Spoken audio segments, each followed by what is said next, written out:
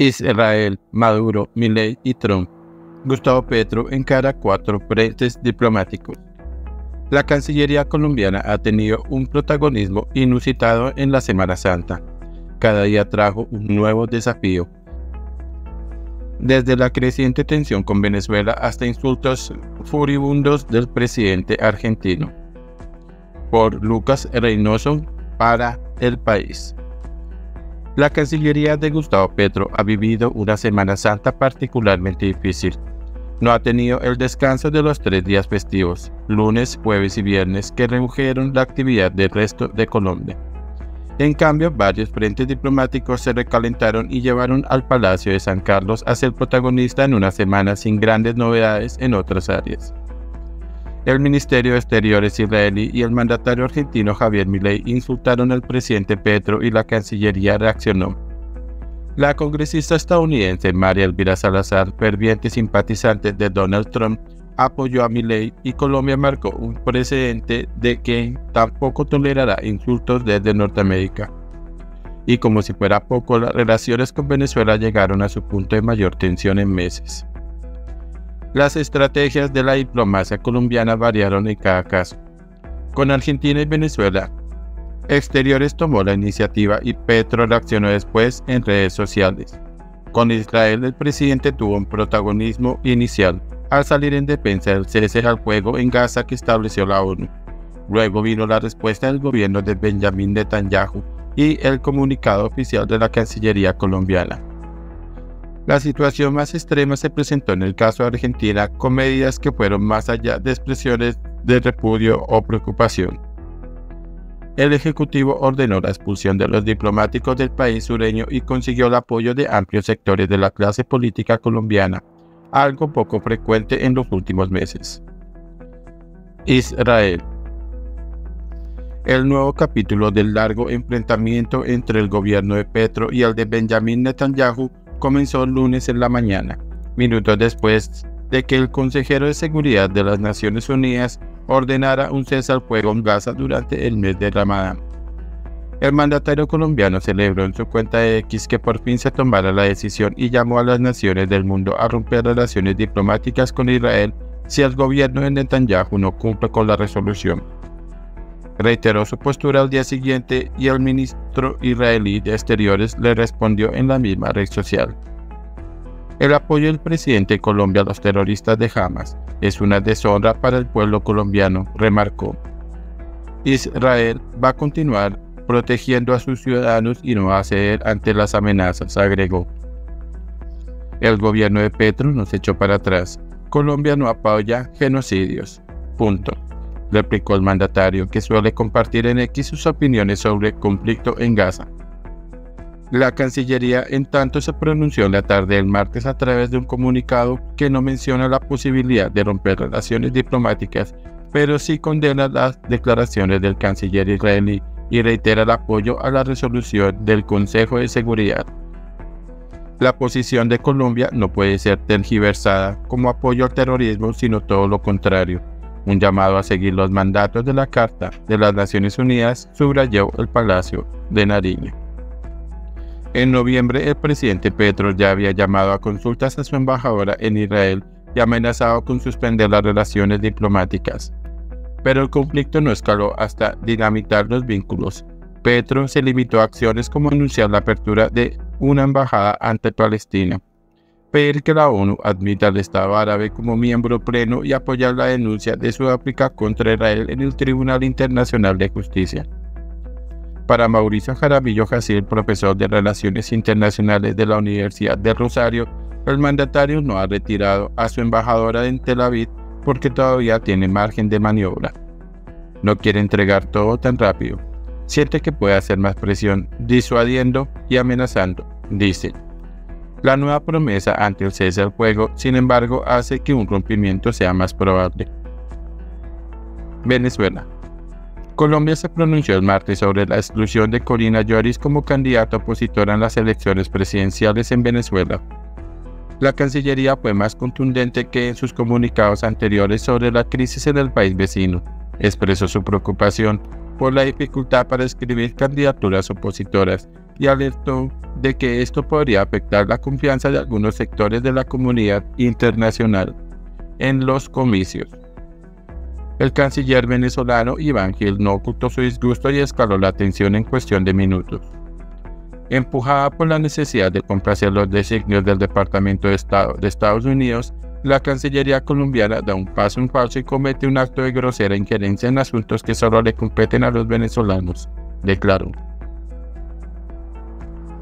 El enfrentamiento llegó hasta los presidentes. Nicolás Maduro criticó duramente un acto a una izquierda cobarde que no condenó un presunto atentado contra él que orquestaron dos individuos del movimiento terrorista 20 Venezuela, la agrupación de María Corina Machado.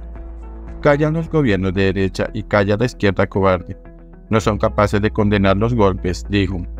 Esos calificativos hasta entonces dirigidos al gobierno de Gabriel Boric en Chile, más crítico con Maduro desde hace años, fueron recibidos en Bogotá como una indirecta Petro. Horas después en X el colombiano respondió, no hay izquierda cobarde, hay la probabilidad de, a través de profundizar la democracia, cambiar el mundo. El caso de Venezuela exige un equilibrio casi imposible para el gobierno de Petro, según explica Jaramillo. Por un lado, Maduro es un actor clave en las negociaciones de paz del Estado colombiano con la guerrilla del Ejército de Liberación Nacional, ELN, en las cuales el país vecino es garante. No creo que Petro haga un comunicado más duro porque Venezuela lo necesitamos no quiere arriesgar el proceso con el ELN y su liderazgo regional como posible mediador entre la oposición y Maduro, señala el experto. Sin embargo, las maniobras del presidente venezolano contra sus adversarios y las críticas en Colombia a la postura mesurada de Petro limitan el margen de maniobra. Argentina. El siguiente desafío llegó a última hora del martes cuando el canal estadounidense CNN difundió fragmentos de una entrevista con el presidente argentino que se emitirá este domingo. Desde su despacho en la Casa Rosada, Javier Milei no tuvo tapujos en expresar su desprecio por su homólogo colombiano. La carnicería que es Venezuela es algo verdaderamente inaudito, lo mismo que la isla cárcel de Cuba.